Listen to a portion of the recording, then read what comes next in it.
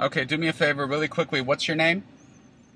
Nishay, N as in Nancy, A C H E A. Operator number one two six. Okay, Nishane, just to clarify, you're indicating that you mailed out a letter for uh, waiver on what date?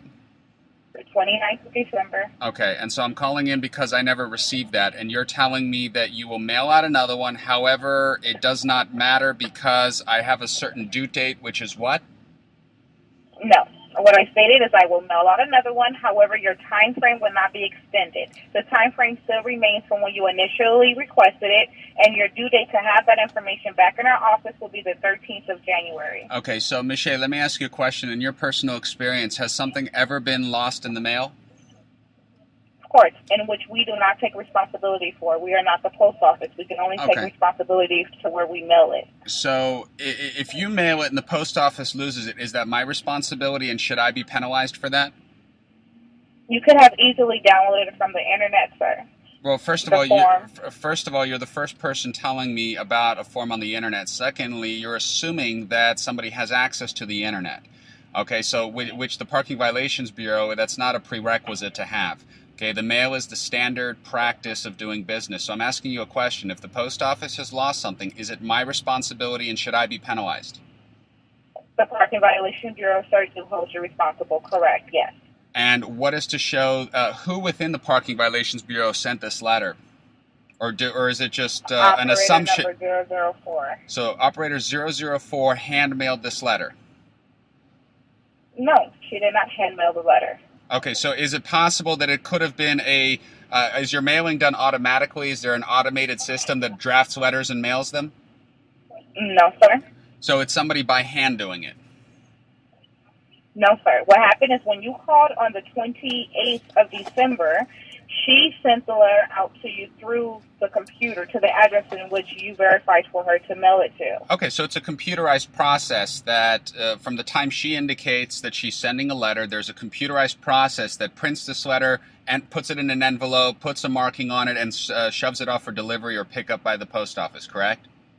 Well, not put it in an envelope, sir. That is hand hand done by an actual person. And in your experience, can I ask you, has it ever happened that there was an error on the Parking Violations Bureau, whether it was an equipment problem or the person that does an envelope could have dropped something? Is that possible?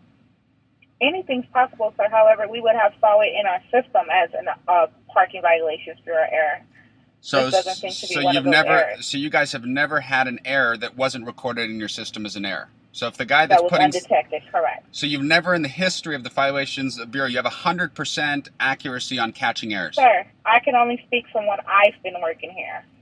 Interesting. So if the post office made a mistake or you guys made a mistake, it doesn't matter. It's my fault. Is the bottom line. If the parking violations bureau made a mistake, then of course we would take responsibility for Well, that. Well, you're However, assuming that you catch- Take responsi- I, I take that back. I'm sorry. I did not interrupt you. I, I know I'm sorry because I didn't uh, answer the ask you the right question. If the Parking Violations Bureau made an undetected mistake or the post office made a mistake, then I am being held accountable for that.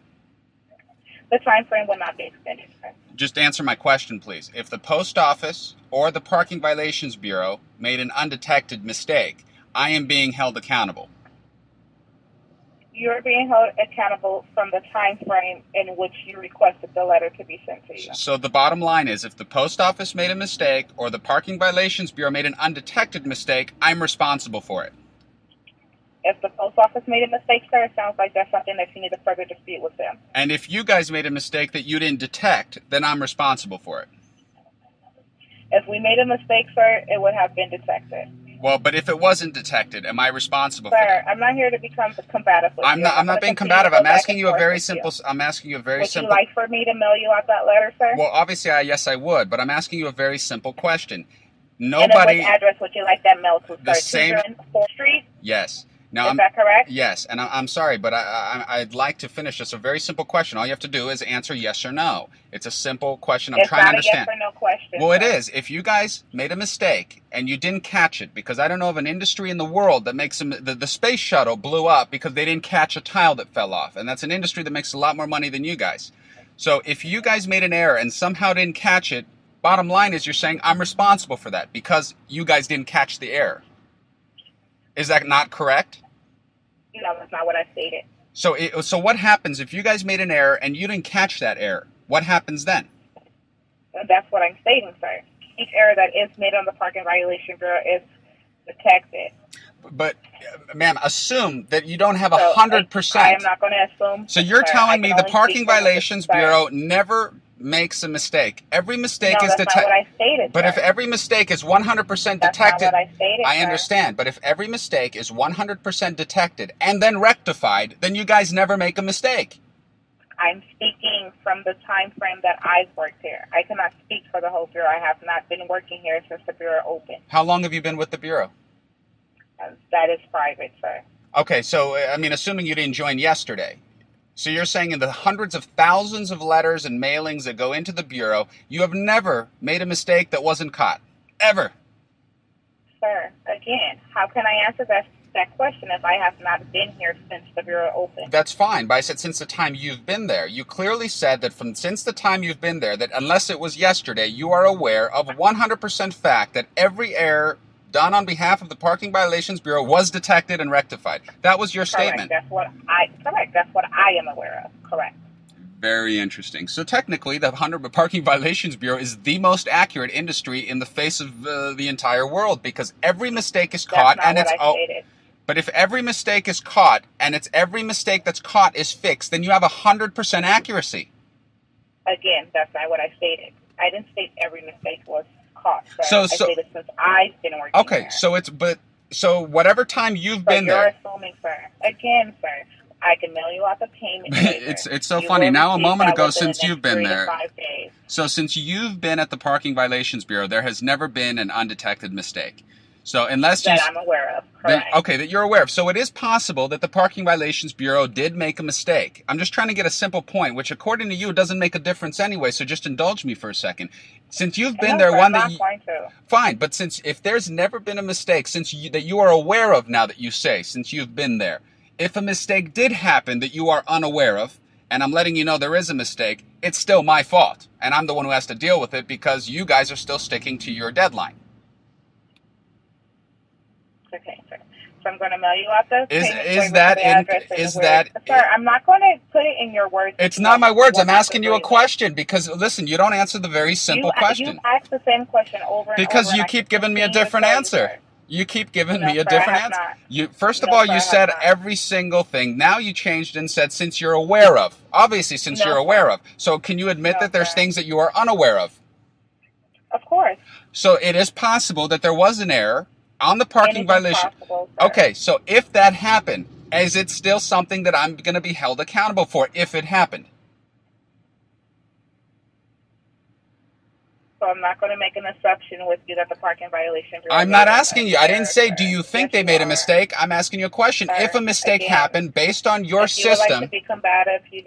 I'm just trying to get a else. I'm simple. I'm I'm trying to ask you a simple now, Would question. you like for me to mail it to I already address, answered you the question.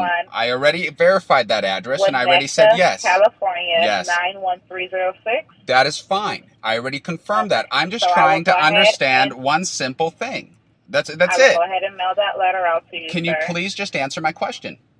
Sir, and again, I'm not going to be combative with I you. am not trying to be combative. I'm trying to Yes, have you. you are, sir. okay, so can You're I? going back and forth. So can I ask you one question? Until Okay. you receive the answer you would like. No, I don't need an answer I would like. I'm asking you based on your procedures, not your opinion, not your guess. I'm asking you a very basic question. Based on the procedures of the Parking Violations Bureau, if a mistake happened that was undetected and nobody is aware of it, am I still responsible or the customer or somebody else still responsible?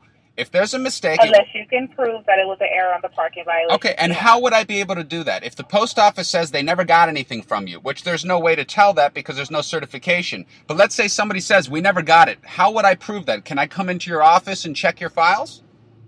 No, sir. So technically there's no way for me to prove it and it's always somebody else's fault, never the Parking Violations Bureau. Your words, not mine. well, can you explain it a different way? No, sir. I'm not at liberty to explain that to you, sir. What I'm at liberty of doing is mailing out the letter in which I'm doing for you today. Okay, could you transfer me to a supervisor? I can place you on hold to see if one is available. That would be wonderful. Thank you. Thank you. Thank you. One moment, please.